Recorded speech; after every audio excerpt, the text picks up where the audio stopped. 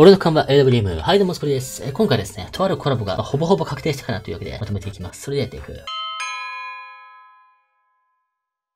はい、というわけでやっていくわけなんですけれど、それが、まあ、ハンターハンターコラボですね。まあ、一応中国の方で、まあ、今日9時ぐらいにですね、こんな感じで画像の方で回ってまして、まあ、一応その、おそらく、まあ、今日木曜なんで、まあ、ジャンプのね、多分フラグがね、出回ってると思うんですよね。海外の方で。まあ、土日に早めに日本の方で販売されるやつを、まあ、どっかで入手した人が多分流したんでしょう。そんな感じの画像が出ているという風になってますね。まあ、書いているのは、まあ、5月1日の方から始めますよっていう、5月1日の回ってすぐにですね、始めるっていうのがあります。これ結構俺コラじゃないのっていう風に聞かれたんですけれど、このコラ作るの結構難しいんですよね。紙を用意しないといけないっていうのと、まあ、この画像を作るのは結構ね、大変っていう。後ろのね、馬とその、親コードの男の画像多分ないと思うんで、この画像。まあ、あれば作れると思うんですけれど、ちょっと作るの難しいと思いますからね。はい。タイミング的にもまあ、出回ってもおかしくないタイミングかなっていうふうに、まあ、思いますから、まあ、そんな感じでね、まあ、多分この感じで言うと来るんじゃないかなっていうふうには、まあ、思いますね。期間中ね、ゴン、キルア、クラピカ、レオリオ、ヒソカが登場するっていう風になってるんで、まあ、映ってるキャラクターが順当に登場するんかなっていう。大体最近のコラボレーションって、映ってないキャラクターのスキンってのはまああんま出ない。まあ、要素としてはなくもないけれど、基本的には出ないみたいな感じのスタンスでやってますから、